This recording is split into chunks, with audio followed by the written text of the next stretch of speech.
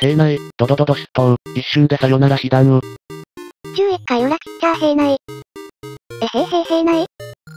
平内一発病なんよな。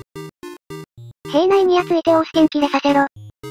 絶望的対決なんだが。打球どんだけ飛ぶかな全国の阪神ファン力をくれ。はいさよなら。初球、慎重に低めを要求する大城。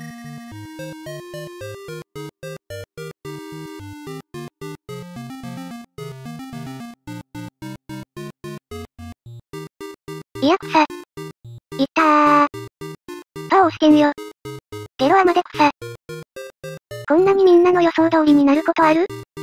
おもろすぎる。ヒットなら OK の場面の初球にそれはひどいとかいうレベル超えてる。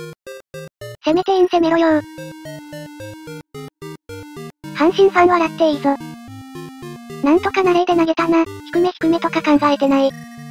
今日の負けは全部安倍采配のせいだわ。